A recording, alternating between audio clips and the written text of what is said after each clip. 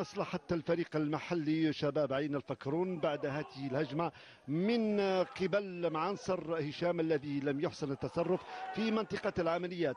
الرد كان من صنبو وهذه اللقطة والاحتجاج من قبل عناصر اتحاد العاصمة. الإعادة ولكم الحكم. باركي حارس الشباب. هنا ينقذ مرماه من هدف محقق ونهاية المرحلة الأولى. بنتيجة صفر مقابل صفر. المرحلة الثانية هذه الركنية من فهم بوعزة الاستقبال من بدبودة الذي يمضي الإصابة الأولى في الدقيقة الثالثة عشر.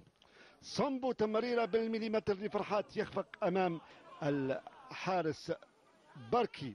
القاطرة الأمامية لعين فكرون تتحرك بقوة والمطالبة دائما بضربة جزاء.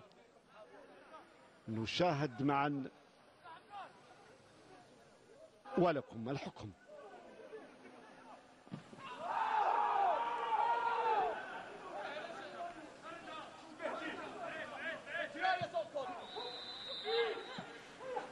قار هنا كاد أن يعدل النتيجة لولا براعة الزماموش نلعب الوقت بدل الضايع.